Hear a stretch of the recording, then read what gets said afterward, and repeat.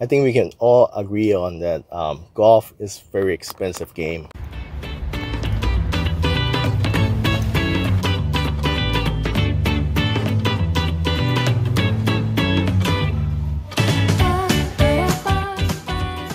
So playing golf isn't cheap, we all know that, but then if you're buying a golf club, it can be a great investment because like for me, I've been using the Bridgestone iron for four years and they still perfectly fine. But for the golf balls, like there's another problem. A brand new dozen of Napoleon cost you this much. Very expensive consider the fact that like you're going to lose the golf ball or you're going to hit the tree, car path and and that's the end. Luckily, so Costco came up with another Kirkland signature golf ball. Four piece model called Performance One the performance they get a lot of negative review. Um, they refund everybody's money, so good job. So let's read through um, people's comment on the golf ball. They are shorter than Pro V1X, Pro V1 TP5X. They don't last long. The price is awesome, but overall a disappointing golf ball. Okay, so most of the comment is uh, surrounding the performance issue and their durability. So I tested it on myself and first of all I'm not a Costco member, I've never been shopping in Costco so uh, luckily I got a friend who got two dozen I asked, I asked him for if I can get some samples so I can do the review. He, he gave me a sleeve. I did 4 for 1 with the golf ball and um, for the first day, I didn't even get the dry ball data from GC yet. I just want to test it out to see if um, do I see the actual difference on course. So first I start with some chipping and uh, stripping and putting and it, seems fine. I didn't see any difference at all. And I just, yeah, and then I just straight up head to the course and play. For the first drive, I actually had a very decent distance for the first drive of the day. Second shot, I hit a pull shot from 100 yard, land on the green, stop right away. Then I start to wonder, is this ball going to last through the round because people are saying that the cover won't last. So I just keep kept on playing. First day, the cover was perfectly fine. And for the next day, day two for the Kirkland signature.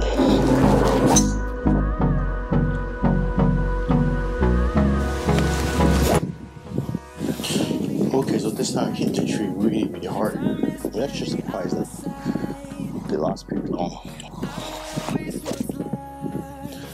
Fate,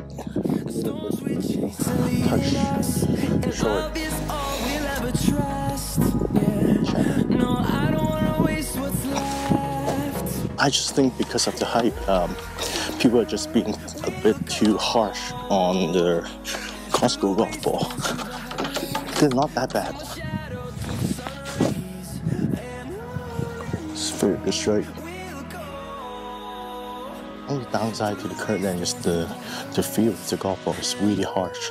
Although it's a thinner cover, but it is hard. It's hard to walk.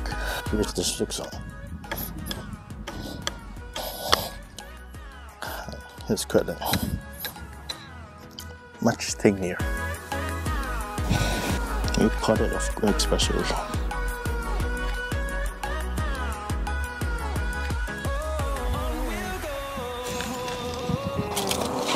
I won't drop this in the water.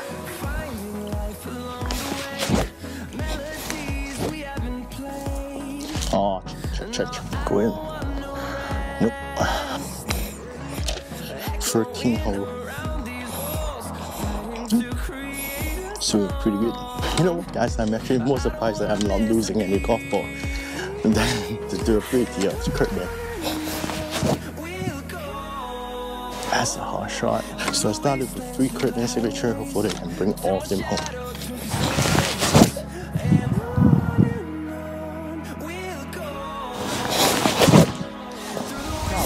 Unfortunately, I lost the golf ball on 17th hole. So that's why I have to go to two more rounds of golf to do the testing. The two full rounds of this golf ball, there's still there's a lot of scratches, especially near the logo, but not too bad. All the dimple is still attached. So for me, durability isn't an issue. Here is a bicycle. I was doing the comparison with the equipment. I did 10 iron shot and 5 drive with the ball and see, it cracked. You guys can see the cover is brand new. Straight out of the box.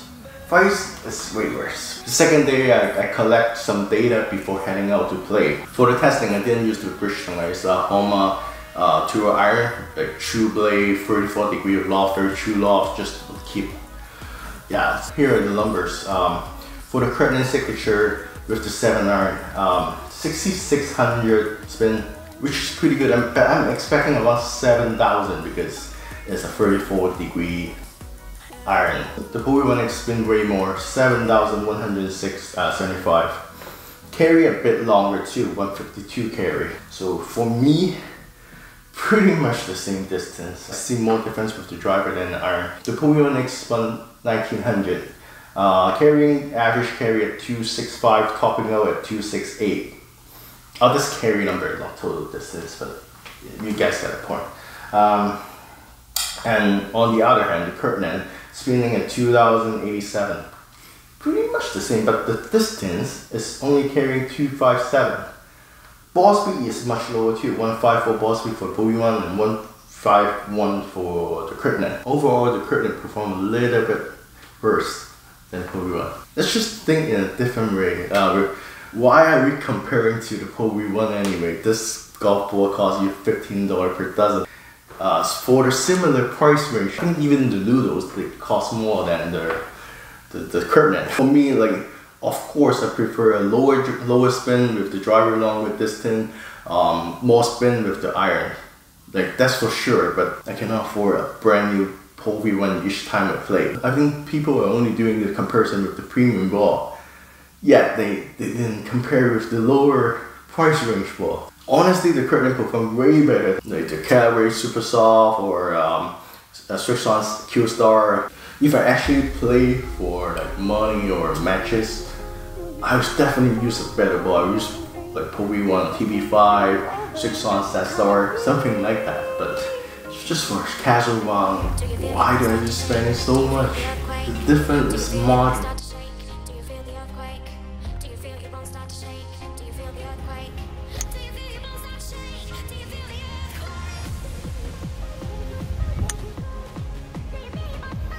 Pro V1 goes a, a touch longer to the west.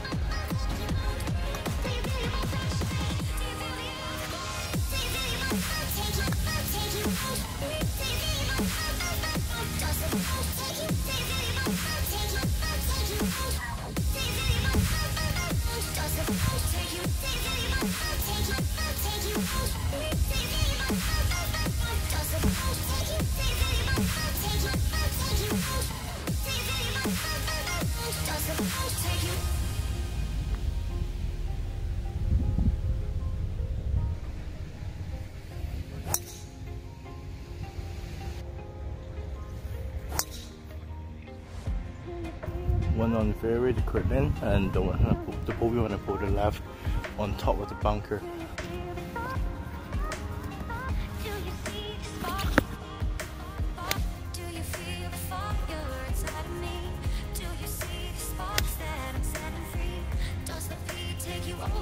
So both balls are on green, one is on temporary green, and the curtain is on real green.